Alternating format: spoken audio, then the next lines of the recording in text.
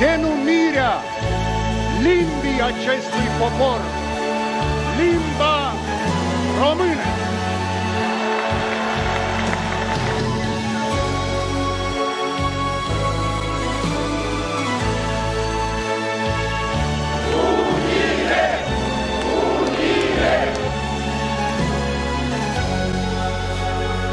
Bine v-am regăsit după o lungă și anevoioasă perioadă de timp la emisiunea Aducem Basarabia acasă, aici unde vorbim doar despre Basarabia și minunețiile ei. Sper că toți dintre voi sunteți în siguranță și sper că purtați mască și vă spălați pe mâini pentru a evita răspândirea de COVID-19. Astăzi îl avem invitat pe uh, Ion Roman, el fiind uh, reprezentantul și vicepreședintele Clubului Studenților Basarabeni și Bucovineni, Ștefan cel Mare și Sfânt din uh, cadrul Universității Dunărea de Jos din Galați. Voi l-ați mai văzut pentru că el a fost uh, și anterior în emisiunile Aducem Basarabia acasă și abia aștept să vedeți ce urmează să discutăm. Salutare Ion! Salut, Andreea! Tu ai mai fost la noi, eu vreau să zic că Ion este primul meu invitat a primei mele emisiuni de la Express. Uh, și mulțumim mult că ne-ai acceptat pentru a doua oară invitația. Da, o să accept și pe a treia dacă o să fie, cu mare drag în, în compania voastră. mulțumim mult! Cum te simți? Cum ești? Ce faci? Uh, în pofida faptului că e foarte plictisitor în pandemie, foarte bine, chiar e ok. Uh, mai plictisitor decât înainte, dar uh, în rest cam uh, același uh, aceeași ordine de zi. Da, cred că toată lumea ar putea spune asta. Cum ai fost uh, în pandemie? Ce ai făcut? Cum ai rezistat? Bine, pandemia, ca și mie și ca la, toată, la toți ceilalți, mi-a dat planurile peste cap. Am fost nevoit să plec înapoi acasă în Republica Moldova. Am, mi-am găsit și un post pe perioada verii, am și lucrat în Chișinău. Bine, acum cu faptul, adică din cauza că sau în pofida faptului că am început studiile, am decis totuși să mă întorc în Galați. Am înțeles. Deci ai fost acasă când a început pandemia, tu ai plecat acasă în Republica Nu, nu, nu, pandemia s-a început aici, eu era chiar, hai să spunem așa, un moment de avansat de pandemie, era undeva după, după vreo 15 mai, spre, spre iunie, când, da. când eu am decis să plec înapoi acasă. Deci, practic, era lockdown total și eu încerc să trec granița atunci cu o situație mai dificilă, dar în fine a fost depășită. Și ai stat în carantină când ai plecat acasă? Da, da, am stat două săptămâni în carantină, lucram remote și da, erau, erau condiții. Și cu ce ți-ai ocupat uh, timpul timpul în pandemie, pentru că era muncă, foarte plictisitor. Muncă, am avut mult de muncă, din fericire ai chestia asta. Ai lucrat de acasă, două, timp de două luni, când noi nu ar două... să ieșim din casă, tu ai lucrat de acasă? Nu, nu, erau, erau două săptămâni cât eu am lucrat de acasă și după deja m-am mutat în oficiu. Am înțeles, păi înseamnă că pe timp de pandemie, când două luni, când toată lumea este de acasă, tu ai lucrat în oficiu? Iunie, iulie, da, împreună cu mulți, mulți uh, alți oameni din Moldova, chestia asta a fost practicată la o scară largă, adică nu toate domeniile au fost uh, blocate, să zicem, de pandemie. Am înțeles. Am înțeles, dar tu ai fi avut posibilitatea, de exemplu, uite, în România, um, angajații alegeau, poți să stai în oficiu, să lucrezi din oficiu, să vii în fiecare um, zi în oficiu sau poți să pleci acasă, hai să, să, să stai de acasă. Da, știu despre ce vorbești. Firma la care, în care am activat eu era cu niște percepții puțin mai barbare am față înțeles. de angajații lor, așa că noi, noi n-am avut alegerea asta, era, adică numai acele două săptămâni cât eram obligat de na, de condițiile și de legile impus să stau acasă, am stat acasă și deja după în oficiu. În oficiu Dacă tot ai zi. fost acasă, mi-ai zis că ai fost în Basarabia, cum e situația acolo? Mă refer strict la pandemie, desigur. Uite, eu am fost adânc șocat de o chestie în momentul în care eu Hai eram aici. Despre asta, cred că o să fie interesant. Eram aici în Galați, era după 15-20 mai, cam perioada aia, era foarte izolată situația, lumea era speriată, într-adevăr. Eu ieșeam acolo o dată pe zi din casă, străzile absolut goale, toți, cu, dacă mai vedeai un om neapărat cu mască, în supermarket, distanță între de, de, de 2 metri, na, mi s-a părut... Deci cetățenii respectau. Atunci, da, atunci era început, lumea era speriată și se mai respecta. Și peste două zile eu plec în Chișinău și acolo troleibuzele pline cu oameni, afară o grămadă, soare, frumos, copii, familii, deci lumea de parcă nici nu a auzit de faptul că există coronavirus. Um, chestia asta a fost un contrast puternic, îți dai seama, aici străzile goale și toți cu mască și distanțare socială, lumea nu iese afară și acolo niciun stres, stai liniștit. Republica Moldova, cetățenii Republicii Moldova nu Bine, au... a, a ajuns mai greu, a ajuns mai greu pentru că valul de frică și de um, hai să spunem, responsabilitate generată de pandemie, el a venit puțin mai târziu. El a început probabil acolo pe undeva iunie, iulie, cam așa, cred. Înțeles. Uite, eu te întreb asta pentru că eu acasă nu am fost încă de după pandemie, din februarie chiar, și chiar mi-e interesant faptul ăsta pentru că mie mama îmi povestea că ei sunt o speriați, că la mine în sat, de unde sunt eu, îmi povestea că, vai, Doamne, ce se întâmplă, că toată lumea e cu mască, că... Dar exista și procentul ăla de oameni care ziceau că e de ce vă temeți oameni? Pentru că pandemie nu există, că nu există coronavirus și așa, Mm. bine, asta este un alt subiect Da, pe da, care da. noi uh, ne abatem deja. Da, ne-am, ne-am Dar, avut puțin. uh, am înțeles, deci în Republica Moldova cetățenii nu respectau uh, așa cum este și Strict. clar, bine, într-adevăr, da. pentru Bine, cel că... puțin în Chișinău era foarte mare dezordine. Pentru că la noi în uh, Moldova chiar și președintele spune asta, adică președintele nu este cel care să fie de acord că pandemia este un lucru foarte, foarte um, periculos și că ies, știi, ies pe urechi și între pe alta, cum este și zicala lui. Așa? Da, în curând posibil uh, o să schimbăm acest președinte, degrabă, degrabă avem alegerile prezidențiale, câte zile au mai rămas? 20? Așa? Și uh, Bun. poate, poate o să fie Hai mai să ne bine. abatem. Da, da, ne abatem din nou. Bun.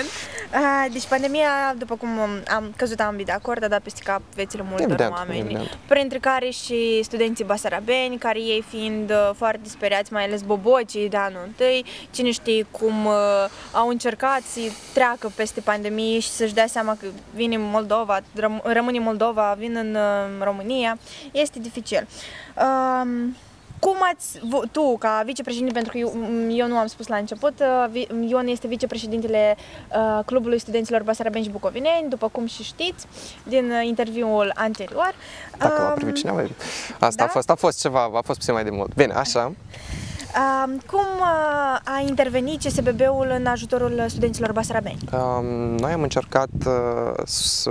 Bine, în primul rând am creat un grup pe Facebook, asta a fost uh, platforma prin care noi am încercat să acordăm ajutorul nostru și imediat cum uh, apăreau vreo veste, situația era foarte instabilă, nu se știa uh, dacă se închid granițele, nu se închid, cum acționează universitatea în această situație mai critică și mai dificilă de altfel, care nu are vreun precedent. Adică situația era una instabilă și era nevoie de o inform- și informația varia foarte da, repede. Stai așa, dar scuz-mă că te întrerup. Uh, universitatea v-a acordat uh, vreo informație, vreun ajutor, ceva? Uh, vezi care e faza? Că în momentul în care uh, și universitatea, să spunem așa, nu prea era uh, conștientă cum se acționează și nu puteau să facă niște Am planuri înțeles. de durată. Adică dacă uh, în mod normal e, e planificată, sunt planificate toate etapele, noi știm ce, ur- ce urmează să fie, bine, acum nu, e- nu era clar, pentru că, de exemplu, în iunie-iulie, habar nu avea nimeni ce o să fie în septembrie. Am înțeles. Uh, și în acest sens uh, noi trebuia să comunicăm cu universitatea gen la privat, per tu, acolo, m, apeluri, secretariate și așa Online, mai departe. desigur, toată chestia Da, evident, evident. Așa? Și uh, universitatea ne acorda informația imediat de ce avem nevoie de ea, adică universitatea, m, hai să spunem că a fost un, uh, un asociat bun în toată situația asta, adică nu, nu am avut impedimente cel puțin din partea lor. Și mă bucur de, de suportul obținut de la ei, plus la asta s-au făcut și niște cederi și niște excepții pentru studenții care depun actele, de exemplu a fost depunerea diplomelor în uh, Chișinău, Cahul și Bălți, dacă nu mă greșesc, adică studenții nu erau nevoiți să treacă granița în situația de pandemie și puteau doar să meargă în Chișinău, Cahul înțeles. sau Bălți. Și de asemenea, cu semnarea contractelor, semnarea contractelor a fost făcută online, astfel, uh, iarăși, dispare necesitatea de a aduce studenții îngalați numai pentru ca să semneze contractele și să... Dar eu am înțeles că, stai așa, uh, tu zici că semnarea contractelor au, f- a fost online, dar au fost universități, facultăți care au vrut strict ca studentul să vină să semneze Uh, fizic. Da, era și chestia asta, ei au pornit uh, inițial, era o informație pornită încă de prin iulie-august că studenții sunt nevoiți să semneze semneze contractele până pe 5 octombrie. După informația asta a fost uh, uh, respinsă, retrasă, zicem, de conducere, însă nu toate secretariatele, să spunem așa, adică studenții nu au fost anunțați de faptul că, bă, uite, nu, acum nu mai e nevoie să mergeți până pe 5 octombrie. Și deja chestia asta s-a rezolvat iarăși prin uh, intermediul rectoratului, uh, prin câteva apeluri și uh, a fost, adică, na, Conducerea s-a terminat foarte receptiv față de problema asta și, practic, uh, secretariatele au fost puse la curent cu faptul că studenții basarabeni nu mai trebuie să semneze contractele până pe 5 octombrie. Am înțeles. Deci a rezolvat și Da, problema da, asta. da. Um, hai, povestește Ați făcut un grup în care vorbeați acolo voi cum ar trebui să faceți și cum să procedați și ce documente vă Evident. trebuie și așa. Da, că da, da, da, da. Am înțeles că studenții acolo, bine, și eu fac parte din acel grup, eu am văzut ce se întâmplă acolo. Uh, studenții pun întrebări, iar voi, um, responsabilii de acesta, uh, Încercăm le imediat să dăm un veniți în răspuns. ajutor. Da. Da. Povestește mai multe despre asta, te rog. Um, Na, în mod normal, uh, noi mai avem și un grup pe Messenger în care merge un chat foarte lung, acolo în situațiile, în zilele bune, vineau câte 200-300 de mesaje pe zi și tu gen te uiți, îți scoți telefonul și vezi acolo 200 de mesaje necitite și ai niște oi pătrați. Um, Adică întrebări erau multe, era un... uh, Probabil um, și pe uh, Messenger tău privat. Da, și pe messengerul meu privat, dar eu na, eram puțin mai ocupat atunci și în mare parte redirecționam ori în grupul principal, ori redirecționam la alți voluntari pentru că mai aveam și muncă în perioada aia și era dificil. Era dificil. Uh, Bine, și cereașa de pe tort a fost uh, a fost organizarea cursei speciale, o cursă Curse speciale? Chișinău, o cursă Chișinău-Galați, care... Păi dacă uh, studenții, scuze-mă că te întrerup, iar studenții au reușit uh, să semneze actele online, Da, actele au Deci fost ar trebui semnate să- deci ar online, trebui să însă vină era nevoie de înscrierea la cămine. Înscrierea la înțeles. cămine și ocuparea locului în cămin. Deci, teoretic, oricum, pentru chestia asta au fost nevoiți să vină o dată în Galați. Um, Am, care era faza? Că mai era și fa- problema că uh, mulți studenți și-au pornit uh, procesul de obținere a vizelor Um, și adică în momentul în care dai, adică depui pentru obținerea vizii, pașaportul tău este preluat pentru o anumită perioadă de timp uh, și în momentul în care el este preluat, evident că tu nu poți treci granița fără, granița fără acel, acel frontiera, frontiera fără acel proș- pașaport. Deci um, ei era un număr de persoane care nu aveau pașapoartele, era necesitatea de a trece frontiera uh, ca să se înscrie la cămin, iar înscrierea la cămin se făcea numai până pe 28 septembrie. În acest sens, uh, s-ar, în- ar însemna că persoanele care au depus pentru viză nu au cum să-și obțină, să obțină căminul. Noi am rezolvat problema asta prin faptul că Uh, am contactat direcția Cămine Cantine. Direcția Cămine Cantine ne-a oferit o zi suplimentară pentru persoanele care uh, sunt în proces de obținere a vizei am înțeles. Deci uh, și ei- noi am venit mai târziu. Mai târziu cu toți băboci, am venit pe, bine, cu toți băbocii care nu au putut să vină mai devreme. Ok. Uh, adică pe ce dată? Asta a fost pe 30. Pe A, 30. și, mm, ok, înseamnă că uh, bobocii trebuiau, de fapt, ei să cazeze de pe 26... De, de pe 24 până pe 28 sau cam așa era am perioada înțeles. aia. De 24 până Și 28 gen- și voi pe 30 ați venit. Am venit cu cei Deci care vă- n-au reușit să scazeze în perioada asta, deci cei care erau în proces de obținere a vizei. Și toți au obținut viza sau Um, mai Bine, mai erau, mai erau câteva excepții uh, minore, dar cu persoanele alea deja am rezolvat problema mai individual și, să spunem, fără prezența lor fizică Hai, aici. povestește despre cursa specială. Și cum ați făcut asta? Pentru că uh, zim dacă trebuia să stea în carantină aici când au ajuns în România sau... Nu, Povestește nu, despre a asta. fost, a fost emisă o hotărâre de guvern care presupune că persoanele care uh, sunt, uh, adică aj- intră în România, trec frontiera în România pentru, uh, pentru studii, sunt uh, Adică nu sunt, ne- nu- nu sunt puși în, nu sunt puși în carantină. Ok. Uh, Bine, în momentul în care se întorc înapoi în Republica Moldova, deja acolo chestia asta nu funcționează, acolo ei sunt puși în carantină. Deci au stat în carantină Deci, când au intrat... teoretic, da, practic, habar nu prea, am, nu, nu știu, Ok. serios nu știu. Știu că unii au stat, unii nu au stat, adică din informațiile private. În schimb, nimeni nu a fost amendat sau ceva de genul, Am adică s-a înțeles. terminat cu bine. Uh, Na, deja aici o neglijență din partea organelor de conducere din Republica Moldova. Că ziceau că nu o să stai și de fapt au stat? Sau cum? Nu, nu, nu, e că nu au, uh, nu au organizat, adică în momentul în care tu ai o grămadă de studenți care se duc în România pentru depunerea actelor, ai putea să mm, emiți uh, vreo hotărâre ca studenții respectivi în momentul în care se întorc înapoi să nu stea în Știi carantină. pe cine Dar, avem la conducere, glumești? da, da, da, în fine. nu abordăm subiectul ăsta din nou. Uh, Ceea ce ține de cursa specială, era și o problemă cu câteva zile înainte cu câteva autocare cu studenți au fost întorși din cauza că nu aveau viza și noi aveam puțin probleme, adică nu probleme, aveam, eram puțin așa pe, pe, pe gardă, alarmați din faptul că nu cumva să ne întorc autocarul, pentru că aveam în autocar tot felul de studenți cu tot felul de acte, cineva cu viză, cineva cu pașaport român, cineva cu fără viză, cineva cu buletinul de naștere, adică era tot buchetul, adică dacă cei de la vamă și-ar pune ca scop să, să ne întoarcă, iar fi putut teoretic să ne întoarcă. Dar bine, asta cum a fost cu un, un autocar de la Oradea, care a stat undeva vreo 8 ori în vamă, da, au stat 8 ori în vamă, gen lor nu le-au permis să treacă, ei au stat 8 ori în vamă, pe telefoane, abordau toate, toate instanțele pe care nu mai puteau să le abordeze acolo. Asta... Și până la urmă s-a rezolvat cu implicarea unei deputate din, unui deputat din, din România, din Guvernul României și na, s-a trecut după 8 ore. Noi, la noi a fost mult mai lejer, la noi după cazul ăsta s-au alarmat societatea și deja vame și cel puțin au încetat să întoarcă studenții înapoi. Am înțeles. Studenții fără viză. Okay.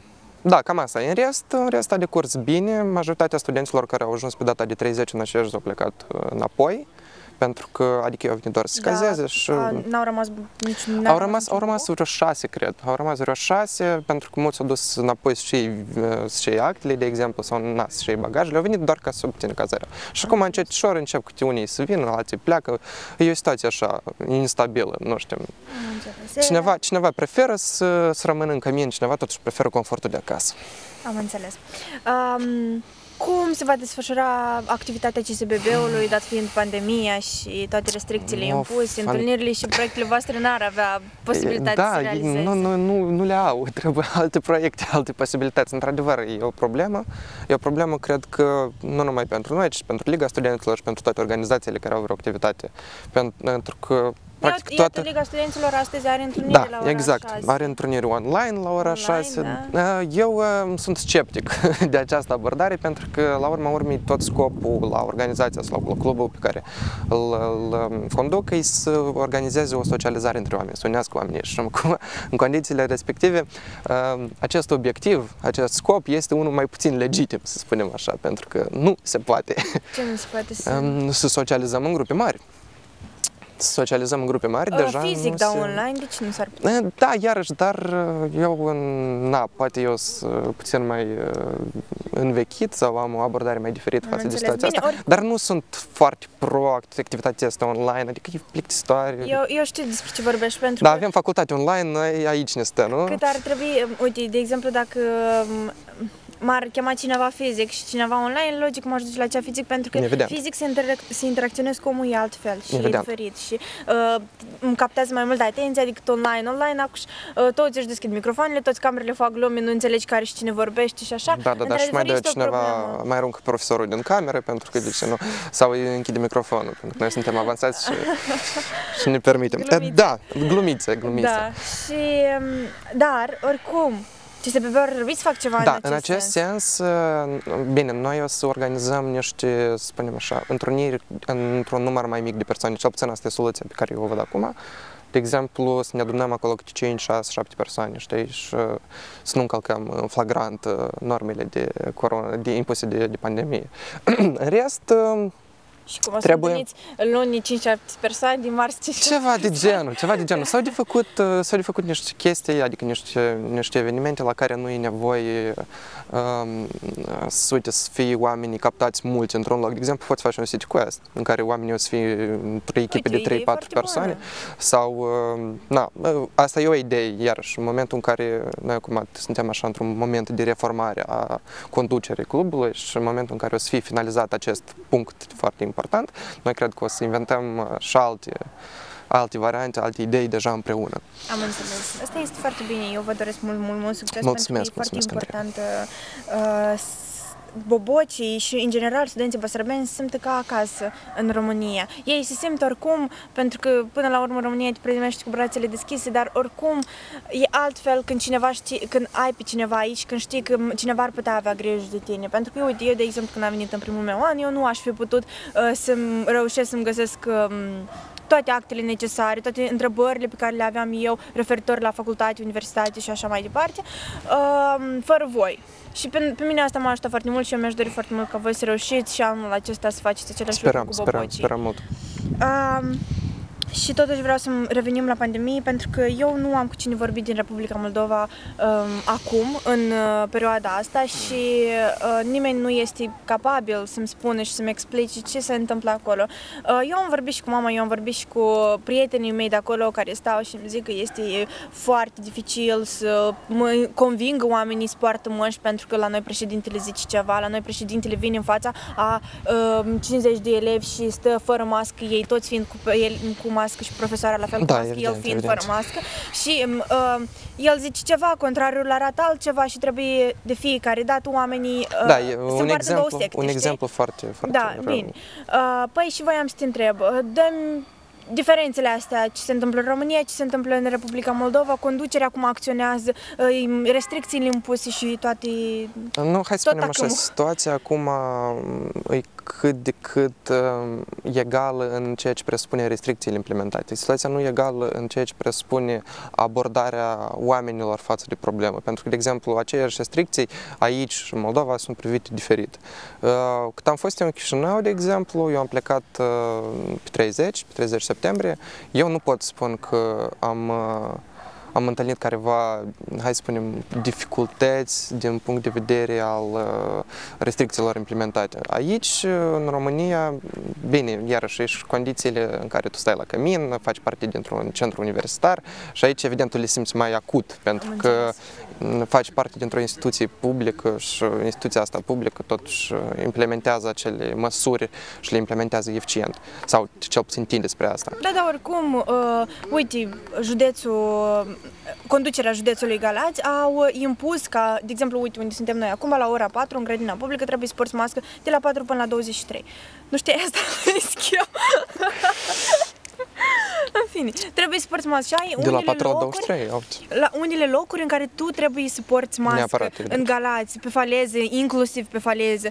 Și asta este foarte bine pentru că până la urmă, acum câteva zile era uh, faptul ăsta că trebuie să porți mască întotdeauna în Galați. Adică ești afară, tu îți pui masca, dacă nu ți iei amendă. Și amenda este usturătoare, cred-mă. Uh, da, asta. Sau în autobuz, la fel trebuie să Da. porți mască. La noi în Republica Moldova La nu noi se în poartă un- autobuz tu poți găsești persoane care nu Exact. poartă mască, evident. Și poliția nu face nimic în acest sens. Ce se întâmplă acasă? Uh, Da, asta e, asta e. Uh, O situație gestionată greșit, eu aș spune. Pandemia la noi e gestionată prost, tare și noi o să avem, știi mai ales după alegerile prezidențiale, cred că o să fie, uh, noi o să intrăm, o să intrăm și noi într-un lockdown de asta închis. Acum, situația artificial nu se impune una foarte gravă pentru că, presupunerea mea, pentru că, na, urmează alegerile și ca să nu blocheze alegerile sau ca să nu ai probleme în ce- sensul ăsta, să nu ai niște cheltuieli suplimentare care ar putea fi impuse de pandemie. Eu, au Eu decis cred că dacă se închidă puțin ochii. Da. Eu, um, uite, tu știi că Republica Moldova este a prima sau printre primele țări, nu știu exact și nu știu informația asta foarte uh, corect, de aceea o să mă abțin să vorbesc, după dar numărul de medici. după numărul de medici, da. da. cred că iarăși prima la un moment dat. nu știu Exact. dacă acum mai e. după numărul de medici care mor, Da, adică de noi ce avem da. foarte mulți medici care mor și Cadre noi nu avem medicale. mulți medici în, în România, în Moldova, Moldova. iertați-mă. De asta și zic că este e o situație foarte, Foarte da, uh, gravă. foarte în sensul ăsta. traumată. Aici mai intervine și faptul că medicii noștri sunt uh, dotați uh, foarte, s- nu, nu, hai să nu spunem foarte, dar slab. Slab pentru că în momentul în care tu ești medic uh, și ai o pereche de mănuși uh, Trei zile la rând. trei zile la rând, da, asta evident că o să ducă la niște probleme la un moment dat. Dar, uh, da, o dotare proastă, o gestionare proastă, asta e. Ne remarcăm prin asta în Republica Moldova. Ce mă. pot eu să spun? A, dar avem și părți bune. Hai să nu luăm totul negativ, avem da. și părți bune. Mai puțin în pandemie și mai puțin la guvern. Da.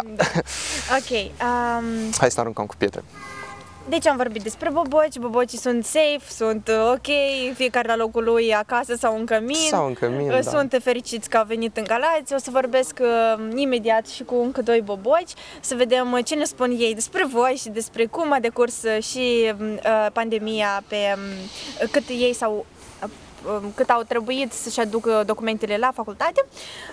Um, Eu o să-ți mulțumesc foarte Da. mult pentru, Plăcere, plăcere mea. uh, pentru că ai venit, ne-ai acceptat încă o dată invitația și uh, îți mulțumim că ai reușit ai vrut să facem uh, emisiunea într-un mod mai diferit, adică în grădina publică. Da. Noi suntem acum în grădina publică și filmăm uh, uh, afară. O idee interesantă de altfel. Da, uh, și îți mulțumim încă o dată, Ioan, și ne Cu revedem plăcere, uh, Andreea, dat- sigur. a- data Poate, viitoare. poate. poate, stai așa, lasă-mă să vorbesc.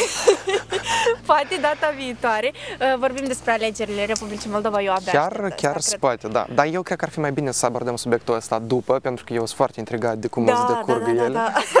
Uh, Abia aștept să Da, știi. o să fie o, hai să spunem așa, o, o programă mai emoțională puțin. Da, mai ales dacă, indiferent de rezultat, adică oricum o să fie emoțională. Ok, Bine, mulțumesc mult, Ioan, și ne revedem Da. data viitoare. Am revenit, de data aceasta cu două doi boboci din Republica Moldova, uh, despre care o să aflăm în curând uh, mai multe detalii. Bună ziua, salutare fetele! Salut! Uh, bun, ia să vedem. Uh, o vă luăm pe rând ca să vedem uh, la ce facultate sunteți și cum vă cheamă. Eu sunt la Facultatea de Economie și Administrare Afacerilor, specialitatea Management și mă Ok. numesc Ana Maria. Bun. Eu mă numesc Daniela și sunt la Facultatea de Litere, specializarea jurnalism. Deci suntem la jurnalism, unul la jurnalism, unul la, la management, este perfect. Uh, abia aștept să vă cunosc. Bun, Ana Maria și uh, Daniela, da? Da. Hai să vedem. De ce Galați, de, de ce România în primul rând și de ce Galați? Hai să vedem pe rând, să răspundem da, la întrebare. Uh, Deci, inițial, uh, nici prin cap nu-mi trecea că aș putea alege să-mi continui studiile la vreo universitate din uh, România, uh, chiar din Galați.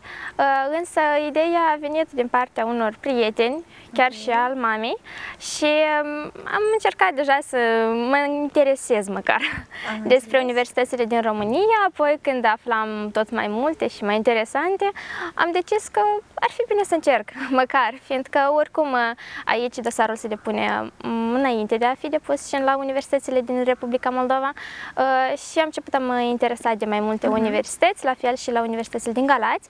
Am uh, găsit uh, studenți care deja studiază aici, Uh, de la ei am aflat mai multe detalii uh, despre universitate, despre studiile de aici. Asta este tare Uh, șmecher. și m-a captivat, dacă sincer. Ok. Iar apoi când am aflat că am fost și admisă, am depus uh, diploma în original uh, la Chișinău, fiindcă ni s-a oferit uh, această posibilitate și iată astăzi sunt aici, în calitate de Șmecher. student. Bravo, îți doresc mult succes. Tu, Mulțumesc. Daniela? Și la mine a fost uh, un pic mai deosebit. Eu uh, mereu mi-am dorit să-mi continui studiile în România. Uh, am plecat la liceu cu gândul că îl voi finisa și voi pleca în România să-mi continui studiile. De ce Galați? Uh, evident că din start am început să mă interesez despre foarte multe universități și uh, mă străduiam ca să găsesc în fiecare universitate câte un voluntar. Uimirea, a fost, uh, uimirea mea a fost că eu uh, am găsit uh, aici un prieten, prietena mea, care la fel este la facultatea de litere, jurnalism, și atât de mult mi-a, mi-a capturat atenția, a spus că este foarte interesant aici, profesorii sunt foarte buni, la fel și colegii. Uh, am dat uh, actele aici și, sincer vorbind, uh, nu m-am gândit că din start voi fi acceptată, dar, uh, uite, așa s-a întâmplat și foarte tare mă bucur că astăzi sunt aici alături de voi și sper că voi deveni o jurnalistă bună și îmi voi continua studiile cu brio. Perfect, să știi că colega ta, ea fiind chiar Alina Melnic, Melnic, da. ea anul trecut a fost la mine în emisiune, ca să știi. Um, A avut dreptate, într-adevăr, profesorii și uh, colegii, nu știu de colegi, dar profesorii, zic eu, cu mâna Da. pe inimă, că sunt geniali și cei mai șmecheri profesori pe care i-am avut eu vreodată, chiar nici în liceu nu am avut așa profesori. Dacă urmărești vreun profesor de-al meu de liceu, să știți că nu am nimic cu dumneavoastră, dar chiar, chiar nu pot să-i compar pentru că mie mi se par tare șmecheri profesorii de aici. Da. Um, de aceea eu vă doresc mult, mult succes. Să știți că o să vă Mulțumim. plac foarte mult aici, mai ales uh, cu ajutorul CSBB-ului, ajutorul Ligii, o să vedeți că o să desfășurați activități tare, tare șmechere. Uh, Eu abia aștept să trecem cu brio peste pandemie și să reușim. Um, într-un final să vedeți și voi cum este viața de student în, uh, într-adevăr, da. Fizic. Ai dreptate. Um, cum e Galațiul? Vă place? Nu vă place? Cum? E ok? Nu, oameni, așa? Zi dacă nu-ți place nicio problemă. Nu, să fiu sinceră, încă n-am reușit să cunosc bine Galațul, dar uh, mă simt aici ca la mine acasă, dacă sincer, fiind înconjurată de mulți basarabeni de acolo, uh, dar și orașul e ok, parcul, căminile. Perfect. Uh, Bine, din punctul meu de vedere, oamenii sunt foarte și foarte buni. Eu deja mă aflu aici de în jur de două săptămâni și foarte mult uh, îmi plac uh, oamenii. E, Deosebi, zic sincer, voluntarii. Am apreciat foarte mult chestia că din prima zi ei ne-au făcut excursie în, uh, în, în jurul Galațelui și uh, da, a fost foarte și foarte interesant. Uh, Din punct de vedere arhitectural, uh, da, nu pot spune că Galați este cel mai frumos oraș din România, dar este frumos.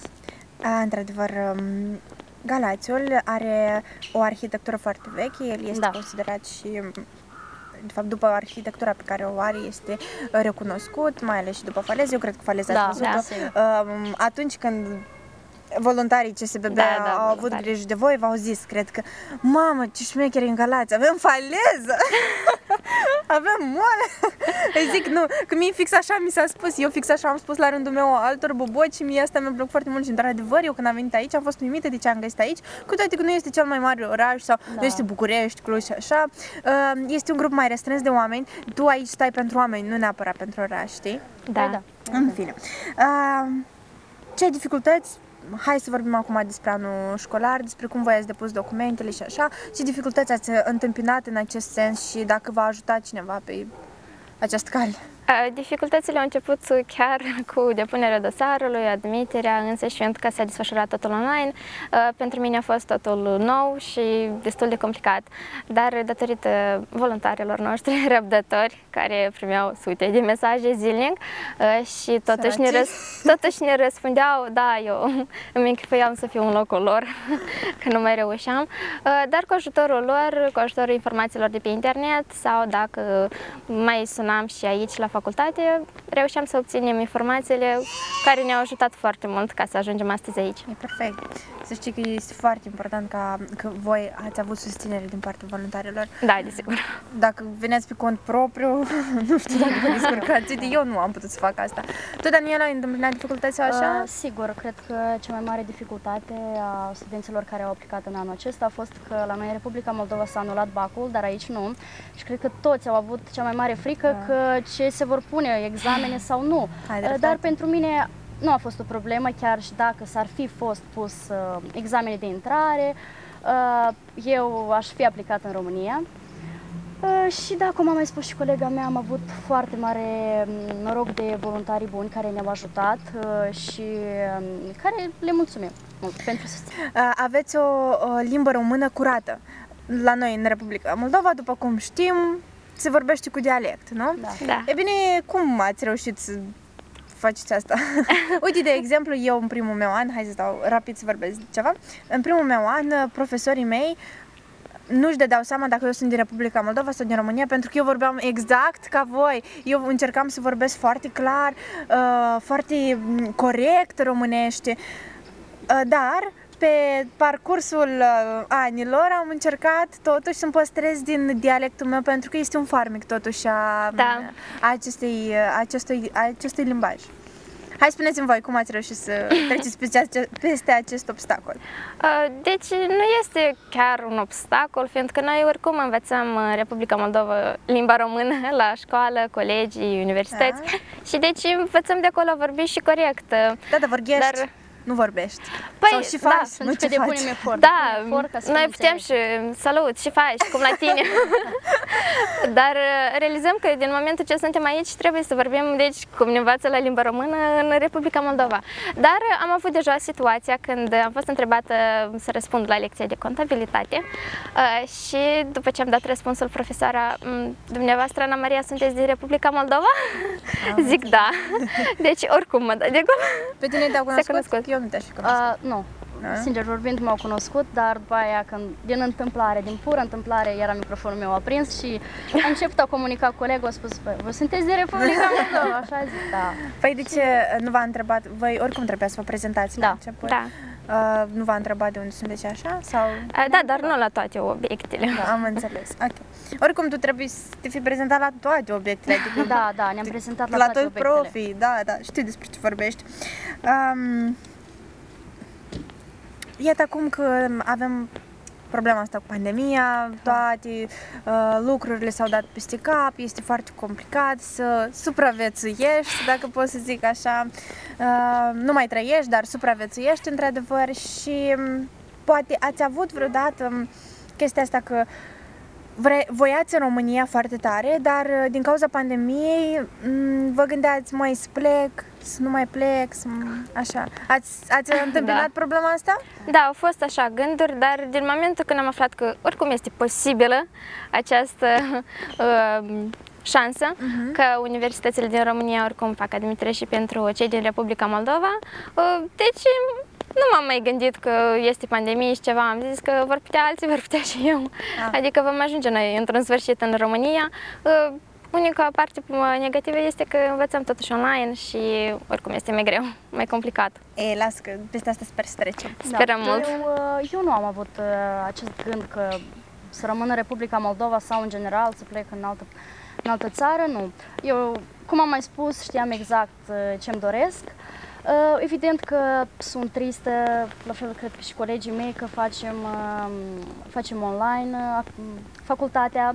Sigur că pentru cei din anul întâi este o tragedie, pentru că noi eram atât de entuziasmați, am face cunoștințe cu profesorii, colegi noi, experiență nouă, dar, cum am mai spus și Ana Maria, sperăm că totul va reveni la normal și ne conformăm situației. Ați avut alte așteptări când um, ați venit aici în România față de cel pe care le-ați găsit? Daniela, poți să începem cu tine, că până acum a vorbit Ana Maria. Uh, nu, practic mă gândeam că tot așa va fi. Știam, eu presimțeam că, bine, vom veni în România și evident că uneori nu vom fi înțeleși, poate la magazin când uh, ne adresăm și ne întreabă a doua oară. Pentru mine personal poate fi o, nu știu, o, o genă, aș zice eu, că ne întreabă a doua oară și domnul așa nu înțelege, după aia, a, sunteți din Republica Moldova și nu așa, da, dar uh, toate așteptările mele s-au adeverit și, cum am mai zis, mă bucur foarte mult că sunt în acest moment aici, împreună cu voi. Super. Uh, Deci, pentru mine, așteptările urmează, cred că, să se realizeze toate, fiindcă oricum sunt uh, pentru prima dată uh, într-o țară străină ca să învăț la studii uh, și totul este nou pentru mine, de ce eu urmează totul să descoper pe loc. Eu cred că o să, o să descoperi Galați în toată, frumuse, în toată frumusețea lui. Desigur. Um, hai să vorbim despre CSBB. Eu cred că Clubul Studenților Basarabeni și Bucovineni, Da. așa voluntarii pe care, um, care pe voi v-au ajutat foarte mult. Cum au fost? V-au plăcut, nu v-au plăcut? Ați venit, cu- apropo, ați venit cu cursa specială Da, care s-a da, organizat, ok? Și cum a fost cursa specială? Pentru că eu știu că în fie, de fiecare dată în cursa specială se întâmplă lucruri șmechere, timp de patru ore cât voi mergeți în autocar, cântați, dansați, vă veseliți așa. Cum a fost toată, tot drumul ăsta așa și uh, ajutorul din partea lor? Uh, Ajutorul din partea lor a fost chiar binevenit, fiindcă noi, uh, având obstacolele astea cu viza, cu alte acte, uh, deci datorită cursii speciale am reușit și să ne cazăm și să nu avem probleme cu asta. Uh, Pe parcursul acelei zile um, ne-am simțit toți foarte bine. Eh, Bine, cu excepția orelor care am stat la vamă. Câte ore stai la vamă, apropo? Mm, Cred că vreo patru, dacă Patru nu mă ore ați greșesc. stat la Nu mai, nu mai țin minte. Uh, Dar uh, din moment ce am ajuns aici, repede am făcut ce am avut, uh, am reușit să vedem și orașul și datorită voluntarilor, uh, alți studenți din anii mai mari, am fost și la, pe faleța Dunării, am descoperit uh, frumusețea orașului uh, pe timp de seară, am văzut și universitatea care este la fel de frumoasă. Da, clădirea universității este Da. foarte frumos. Și eu am fost Da. uimită de ea când am auzit Și noi suntem foarte mulțumiți uh, uh, studenților din Republica Moldova, care astăzi fac uh, parte din CSSB. Uh, CSBB. da. Ok. Și de Daniela? Uh, Eu enorm de mult m-am bucurat când uh, am aflat că se face o cursă specială, deoarece foarte mult contam că, uite, acolo voi face cunoștință cu viitorii mei colegi, uh, va fi un voluntar și ne va povesti cum e toată situația, cum este în uh, Universitatea Dunărea de Jos uh, și ne va povesti totul așa mai detaliat și mai amănunțit. Ok, am înțeles. Păi să știi că eu mă bucur foarte mult că ei pe voi v-au ajutat, că și-au rupt din timpul lor liber, pentru că să știi Da. că mulți studenți de acum de 2-3 ani în, în sus au joburi și ei trebuie să prezinte la joburi. E bine, ei și-au rupt din, și-au rupt din timpul lor ca să Da. vă ajute pe voi, asta este foarte, foarte șmecher mie. Eu aș fi fost acolo, dar eu eram, uite, acolo lucram la stica. în partea cealaltă Noi am fost lucram. acolo, apropo, atunci, cu cursa socială. Știu, știu că ați fost, că eram eu la muncă. și um, chiar mă bucur că v-a plăcut și că v-au ajutat atât cât au putut ei și uh, ca voi să vă simțiți bine. Um, Spuneți-mi, hai că totuși ați ajuns în România, ați văzut, ați stat două săptămâni, parcă după nu v-ați mai întors cursa specială sau v-ați întors Uh, Eu înapoi? m-am întors și am nu revenit m-am recent. întors. Ai stat în uh, carantină tu? Nu, Nu? N-ai stat în carantină? n-am stat, dar nici n-am știut că trebuie să stau Cătare în carantină. A, deci la vamă nu v-a zis nimic că trebuie Nu, stați, că așa, nu mi-a Ei, spus. înseamnă că nu... Încă în genere îmi pare că s-a spus că noi nu trebuie să stăm în carantină. sunteți- Fiindcă am fost așa de libertăți și nu a stat nimeni, cred. Da, da, e perfect asta. Um, păi și pentru că a stat mai mult în România și așa, um, și a stat și în Republica Moldova, să vorbim un pic despre pandemie, cum sunt restricțiile, pentru că asta l-am întrebat și pe Ion, vreau să văd și din punctul vostru de vedere cum este. Um, cum sunt restricțiile aici și în Republica Moldova? Ce se respecte, ce nu se respecte, ce Bine, în uh, Republica Moldova restricțiile sunt așa mai... legere? Mai legere, da, evident. Bine, se pun restricții așa mai dure, dar evident că nu toți le respectă. Ceea ce în România am rămas uh, foarte uimită că la intrare în cămin trebuie mască, la ieșire în cămin la fel trebuie mască și pe coridor uneori ne se spune că uite trebuie să purtăm mască. Uh, La fel și în parcuri, uh, chiar uh, recent uh, eram la o plimbare cu prietenele mele și văzusem doi polițiști care luau și uh, vegheau uh, starea în parc și pe cine nu vedeau cu mască le spuneau, ceea ce din punctul meu de vedere este apreciat. Uh, în Republica Moldova, cel puțin în orașul meu, uh, na, nu prea am întâlnit eu așa cazuri chiar și, bine, acum poate voi fi cam dură, dar uh, la noi și polițiștii nu poartă mască, de aia vă dați seama, când vine un polițist spune că poartă mască, dar dumnealui nu, ce putem noi face? Le spunem clar. că E clar, bine, am înțeles. Păi, uh, într-adevăr, în România se respectă mult mai mult Da. uh, cu strictețe regulile, cu toate că uh, e mult mai dificil perioada asta. Uite, avem și companii, avem recuzite. um, cu- e mult mai dificil pentru că în România sunt mai multe cazuri decât Da, în Republica da. Moldova. După. Dar pe numărul de um, populație, Republica Moldova are mai multe cazuri decât în România, crede-mă, pentru că Da. populația din Republica Moldova mai mică. este Mult mai mai mică. mică. Dar eu uh, mă bucur foarte mult că voi sunteți uh, astăzi aici, că vă place Noi la foarte fel. mult uh, în Galați, că uh, atmosfera este foarte ok. Uh, îmi, plac, îmi place foarte mult chestia că profesorii vă plac. Asta e foarte, foarte important pentru mine, pentru că pentru mine a fost uh, o minunăție să văd ce profesori excepționale am și cât de mult ne ajută și Uite, de exemplu, datorită profesorului Cătălin Negoiță, sunt aici, în fața voastră și uh, fac emisiunea aceasta. Um, Eu o să vă mulțumesc foarte mult pentru că voi ați venit, v-ați rupt din timpul vostru și ați venit aici. Mare vă drag. mulțumesc Cu că mi-ați mare acceptat invitația și uh, sper să ne revedem peste mulți, mulți ani. sau noi. chiar peste, bine, oricum ne revedem aici în Galați, dar peste mulți, mulți ani tu să fii o jurnalist uh, Sigur, la voi ProTV depune efort. undeva așa, sau chiar să crești uh, Express uh, TV-ul mult mai mult și să fii um, uh, mult mai șmecher de cum este acum, iar tu uh, să fii un um, la mari management, Management. Nu? să um, crești în profesia ta și să ai mari, mari succes și să faci mulți, mulți, mulți, mulți bani. Mulțumesc! mulțumim mult! Atât a fost pentru astăzi. Noi vă mulțumim foarte mult pentru um, că ați fost împreună alături de noi și ne vedem săptămâna viitoare cu o altă emisiune la fel de interesantă. La revedere! Denumirea limbii acestui popor, limba română.